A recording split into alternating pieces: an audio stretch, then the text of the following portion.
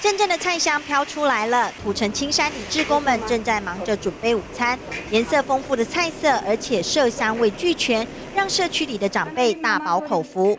土城区青山里定期举办老人共餐，已经将近一年的时间，每个月聚餐两次，最让阿公阿妈期待幸福时光到来。刚开始起源是因为我们的朱立仁市长来响应老人共餐啊，结果我们现在办了以后，很多的老人家。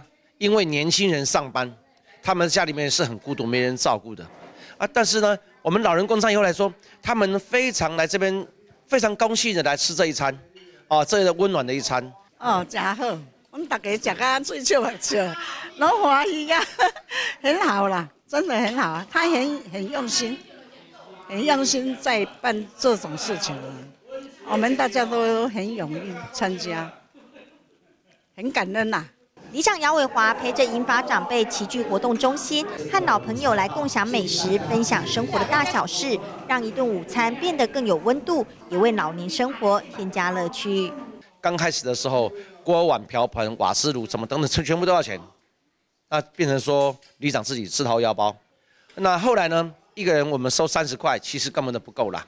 那每一次都要差不多贴三四千块钱，那这个就是里长也是要自己出了。反正钱不够的都是里长出就对了啦。